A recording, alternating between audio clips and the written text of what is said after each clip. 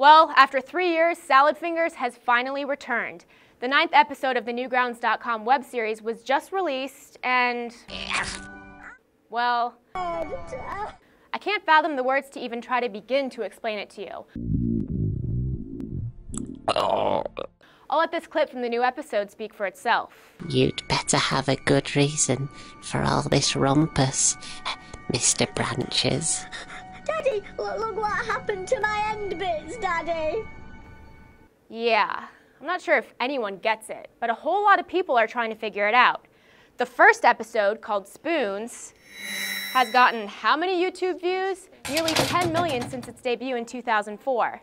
So far, there have been nearly double the viewings for this episode than viewers for cable's highest rated regularly scheduled show last week, SpongeBob. And the views for this one tops the ratings for last week's Law & Order SVU. The ninth episode has gotten over 200,000 hits since its release on May 26th. Some loved it, and many didn't get it. Surprise, surprise.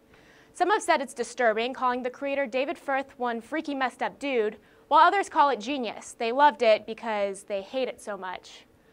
Yeah, whatever the review, Salad Fingers became quite the web star four years ago, and now he's back for more. It's a shame. You were doing a first rate job. Whether you like it or not.